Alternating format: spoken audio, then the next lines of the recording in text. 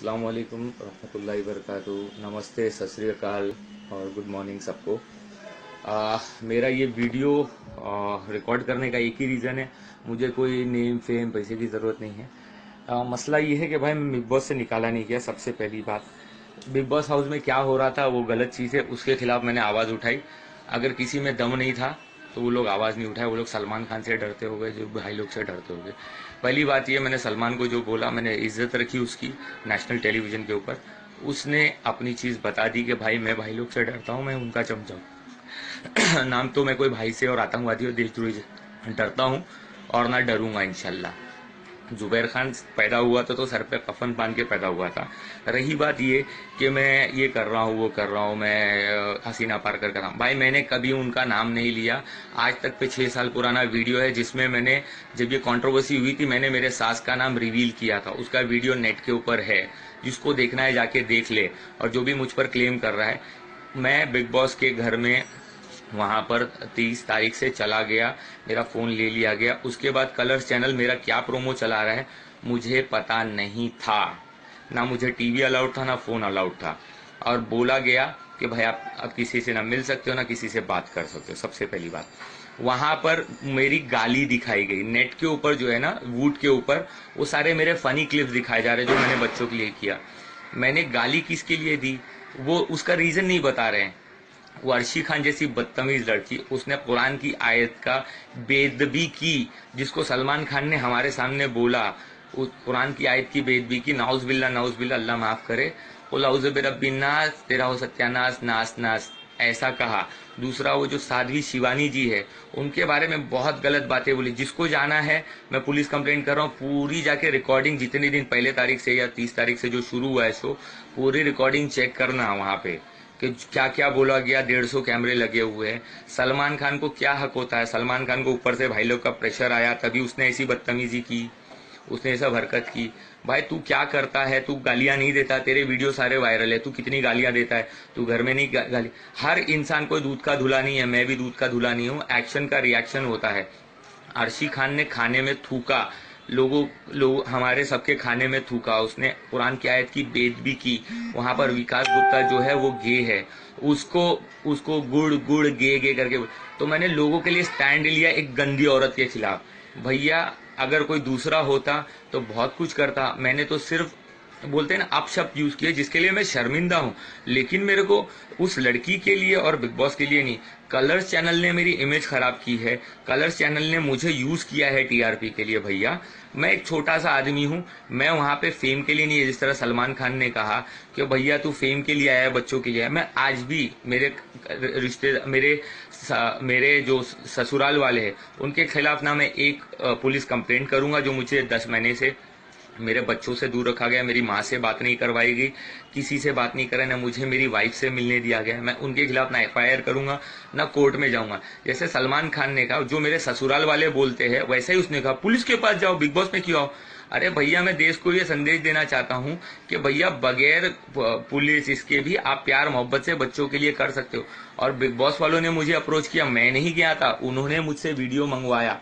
उसकी call recording है मेरे पास। तो भाई, जिसको ऐसा लगता है जुबैर खान गलत है, वो जिसको जो सोचना है वो सोचो। वो तो इज्जो मंतशा वो तो जिल्लो मंतशा बेदी कल खैर इन नकालाकुल्लिशन कबीर इज़्ज़त और दिल्लत का देने वाला अल्लाह है। बेशक अल्लाह हक का साथ देता है और अल्लाह हक का साथ देगा। मैं मौत से नहीं डरता, ना मैं किसी भाइयों से, ना देश के आतंकवादियों से डरता। सलमान खान के फ़ोटो है भाई, जो भाई लोग के, भाई लोग के साथ में, उसके, उस, सबको पता है उसकी फ़िल्मों में किसका पैसा लगता है। उसकी चोरी चोरी फ़िल्म आई थी जिसकी इसमें भरत शाह जैसा बहुत बड़ा फाइनेंसर अंदर गया, जिसमें किसका पैसा लगा हुआ था पूरी दुनिया को मालूम है। तो भाई, मैंने जुबैर खान एक छोटा सा मामूली आदमी है। तुम लोगों ने मुझे अप्रोच किया, मैंने वो प्लेटफॉर्म को यूज़ किया अपने बीवी बच्चों के लिए। भाई, मैंने अपने जीने का तरीका बदला है, तेवर नहीं। मैं अपने ईमान को बेच के कहीं नहीं रहूँगा। और पूरी दुनिया को ये बताता हूँ दो साल का कॉन्ट्रैक्ट कलर्स वालों ने करवाया। मुझे घर बैठे बिग बॉस आने के बाद भी हर महीना मेरे अकाउंट में पैसे आते। मैंने सुसाइड अटेम्प्ट किया और मुझे पब्लिक हॉस्पिटल की जगह गवर्नमेंट हॉस्पिटल की जगह प्राइवेट हॉस्पिटल में लेके गए। वहाँ पर पुलिस भी आई। पुलिस ने मेरा स्टेटमेंट नहीं लिया। मैं फुल आ, बोलते ना गोलियों के रिएक्शन में था। उन्होंने मुझे रातों रात घर पे लाके यहाँ पे ड्रॉप किया।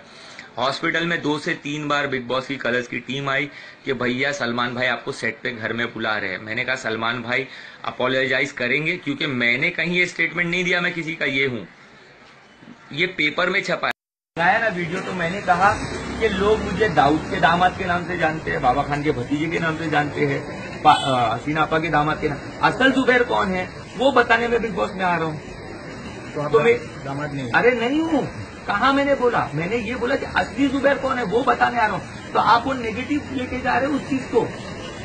क्या नेगेटिव क्यों लेके जा रहे हो? और उन्होंने मुझे डायलॉग दिए थे कि आपको ये पाँच पाँच लाइन बोलनी है। मुझे पता ही नहीं उन लोगों ने क्या लाइन दी। आज मैंने आके शाम में देखा, मैं ऑलमोस्ट सत्रह अठारह घंटा अनकॉन्शियस था। इन लोग इतने अनह्यूमन है बिग बॉस वाले। मुझे प्राइवेट हॉस्पिटल में लेके गए।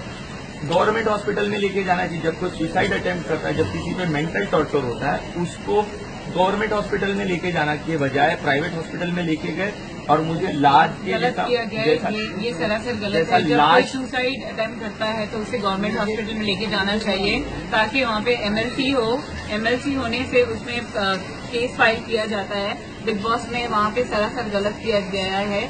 बिग बॉस के ऊपर इस चीज़ के ऊपर सेक्शन केस फ़ाइल किया जाना चाहिए। सलमान खान के ऊपर केस फ़ाइल होना चाहिए कि जिस तरीके से उन्होंने इनको मेंटली टॉर्चर किया है। पूरी दुनिया के सामने पूरी दुनिया के सामने उसने मुझे बहुत कुछ कहा। मैं चाहता तो मैं उसको बहुत कुछ जवाब दे सकता था। मैं बहुत कुछ जवाब दे सकता था उसने कहा। है कि बाहर आने के बाद भी बताएगा। तो ये यही खड़ा है। मुझे देखना है कि क्या बताएगा। बताए। मैं सलमान को मुझे देखना है क्या बताएगा। तेरे को ऊपर से फ़ोन आया इसलिए तेरी फटी ना। तेरे को ऊपर से फ़ोन आया। तो तेरी फटती ही हमारी नहीं फटती भाई। समझा? मैं किसी का रिश्तेदार नहीं हूँ वन मैन आर्मी और हम लोग एड़े लोग हैं। ऊपर से मतलब किसको? किसका जिसका नाम ले रहे हैं?